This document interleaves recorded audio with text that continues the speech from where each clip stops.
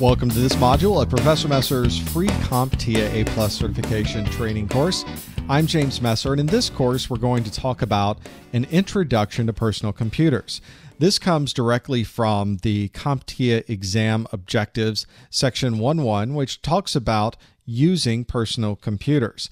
The idea is that we need to be able to understand what's inside of these systems to be able to do any maintenance, any troubleshooting, and understand a little bit more about it. So, this is going to be a good introduction that goes through the outside of the personal computer, what's on the outside, and what we can expect to see. We're going to open up a system. We're going to look inside. I'm going to show you what's on the inside of a system.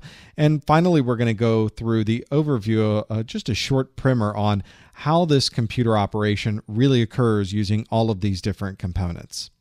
Let's start with the outside. What is in the outside of a computer system? Well, when we start looking at a computer, there are a number of things that are, seem to be universal. They seem to find it on every computer that we run across.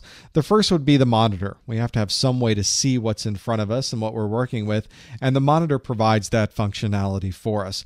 The view here on the picture that I have is one of an LCD monitor, but the monitors can be very small. They can be very large. They can be a cathode ray tube. They can be an LCD, but the purpose is still the same. It's showing us a display of what we would expect to see coming from that computer system. We also have some type of interface on a keyboard in most cases, and the keyboard is going to allow us to type in and see uh, provide us access into the input of that system. So, whereas the monitor was giving us an output of what's there, the keyboard is an input device, very much like our mouse is. The keyboard's giving direct input on the letters, and the mouse is allowing us to move the cursor around the screen to be able to act and react to what we're seeing there.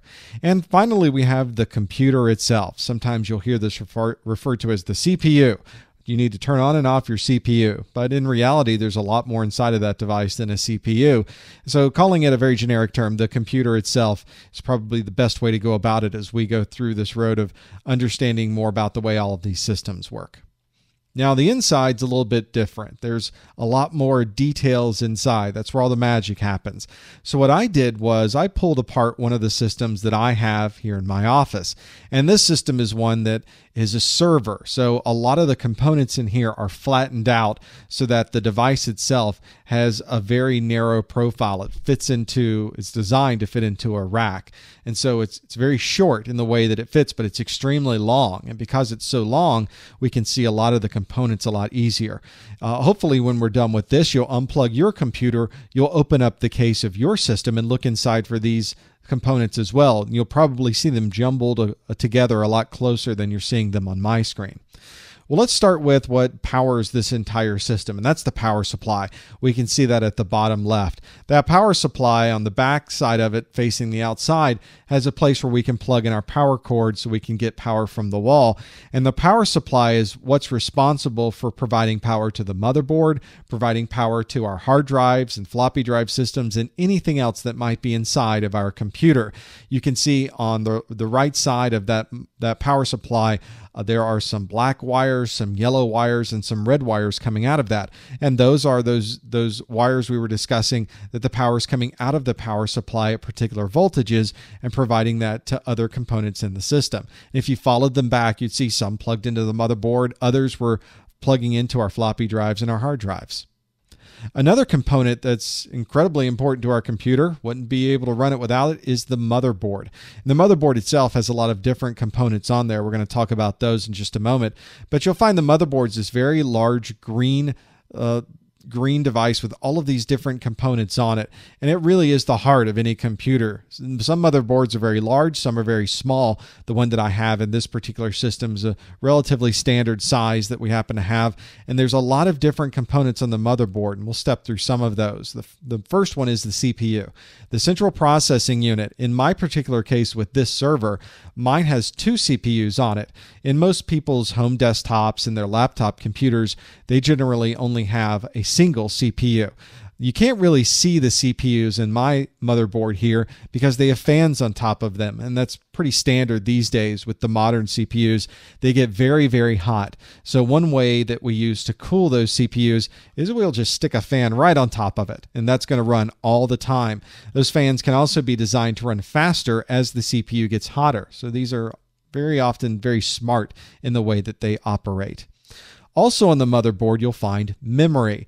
This memory chips and the way that they're designed are different depending on the motherboard that you'll run into. There's a lot of different standards for memory. When we get to our memory module of the Professor Messer video training course, what you'll find is that there's a lot of different kinds of memory. So you have to make sure you get the right kind for the motherboard. On my motherboard, notice that the memory sits sideways and it plugs into the interface slots at an angle. It's not that way on every motherboard. Some of the memory sticks straight up, others are using different methods to plug into the motherboard. We talked earlier about cooling fans that are on our CPU, but just as our CPUs get very hot, the entire computer and all of these different chips that are running also get hot as well. And so you'll find on your systems, almost every single computer you'll run into, there are cooling fans. My particular server I have here has one, two, three different cooling fans on it. And so you'll you'll find on your desktop machines uh, that you're using at home, it may only have one cooling fan. These days, there are some very very specialized systems that have no cooling fans on them, very small computers that are designed for very specific purposes.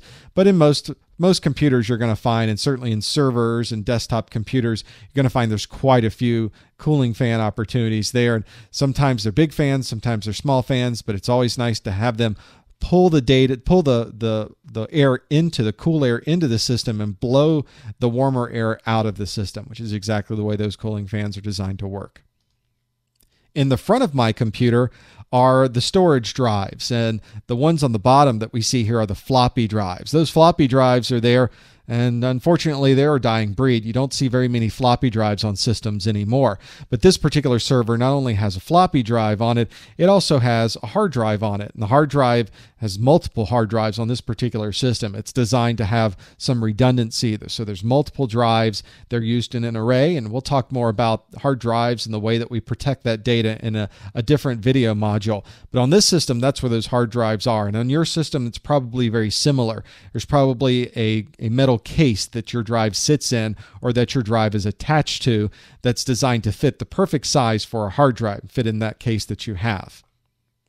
One component you're going to find on every computer system is something called the Basic Input Output System, or BIOS. And the BIOS is usually this tiny little chip that's installed on the motherboard. This BIOS is also called flash memory because a BIOS is something that in the newer systems, in the, the last 10 years or so, computers have been designed so that you can update the BIOS through software. It used to be when you wanted to update the BIOS, you'd have to pull the chip off the motherboard and replace it with a physically separate chip. I've zoomed in on my BIOS so you can see exactly what it looks like, but there it is. It is designed so you could pull it off and put it back on again, but in my case, it can also be flashed so that I can add new versions of the BIOS onto my motherboard anytime I wanted to. Now, next to the BIOS, you'll see there are some expansion slots there too. I'll zoom up on those so you can see them. The expansion slots are designed very much like their name is to expand the capabilities of your system. If you wanted to add a more high powerful video card or you wanted to add additional USB ports into this system, you could buy an extra card that would pop right onto the motherboard, slides right in, and attaches. And then I would have that additional capability associated with it. You'll notice on this motherboard that there are some expansion cards that are facing up. There's also some expansion cards, it's hard to see from this view, that are facing away from us at a, a different angle. Well, we'll talk more about riser cards and their purpose in these types of systems in a later module, but it's nice to have this so you can see there are differences in expansion slots, there's differences in the sizes, there's also differences in how they sit inside of your system. Now that we've seen the inside and the outside of the computer, let's approach it at a little bit higher perspective. How do all of these things work together? Well, a very basic flowchart of the way a computer works is one that I've drawn here. Before a computer can do anything, you have to provide it with some input. So you can see our input at the top is providing that capability. So we've got a way that we can use our keyboard to provide input. We can use our mouse to provide input. We can also take input and provide it through uh, other systems that are in the system. It may not just be a mouse and keyboard, but it just has to be a way to get some type of information into the system itself. At the center of this picture, you'll notice there's a processing box that I've got. That is not just the central processing unit of the system, but that is a representation of all of the different processes that occur inside that that motherboard because it has to be able to receive the input, has to have a way to provide output of that, it has to have a way to think about what it's receiving and perform calculations to it. And so there's always some processing that must take place.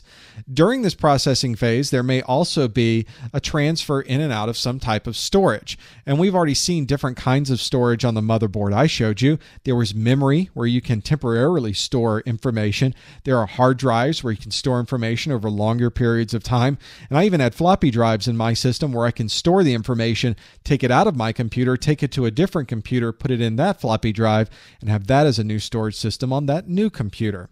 Finally, you see there's an output setting. And the output is going to be there so that we can see what the computer has done. That output might be to our screen, which is a very common way to receive the output. We want to see what we've done and see the results of that. We could also have it come out on a printer. That's another nice output.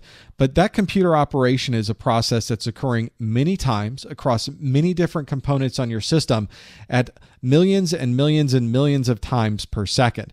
So, this com- basic computer operation uses all of those different components we saw in our computer, and they're all working to perform that common goal that you've sent your computer to provide reading your email, to provide looking at this particular presentation, or anything else you need your computer to do. Well, that's a summary of our introduction to personal computers. We've looked on the outside of a computer and we understand what those components are like. We pop the top off a computer. Maybe you'll do that to yours next and look to see all the different components that are on the inside. And we also went through those basic four elements of computer operation the input, the processing, the storage, and the output. Well, that ends this module on our introduction to personal computers. If you'd like to comment on this video, send messages to other CompTIA professionals, or look at any of our other free A Plus training videos, be sure to visit our website, freeaplus.com.